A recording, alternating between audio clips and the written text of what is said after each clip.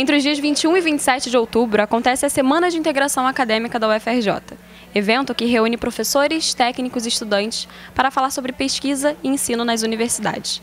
Eu estou aqui com os coordenadores Luiz Neves e Hilda Regina, que vão nos falar um pouco sobre essa semana que está chegando cada vez mais rápido.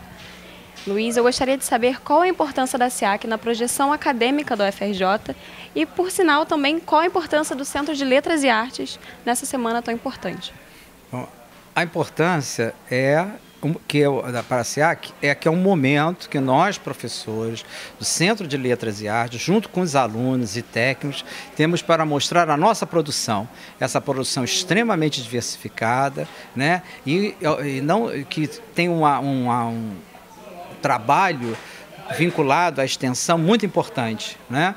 Né, é a projeção da universidade para fora, é, é, é a nossa contribuição social. Então, esse é o momento de que os, que os alunos poderão, juntamente, como já coloquei, né, é, os graduandos, as especializações, toda a, a comunidade acadêmica, vem a nossa produção de artes, de letras, de música né, e arquitetura, que é importantíssimo, considero eu, para todos. Obrigado.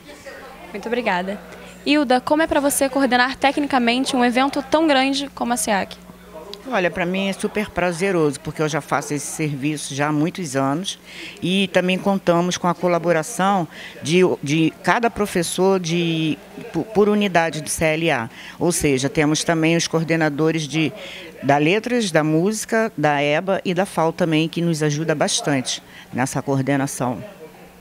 Muito obrigada. Lembrando que a SEAC acontece em todos os campi da UFRJ e está aberta para o público. Para mais informações, acesse siac.ufrj.br.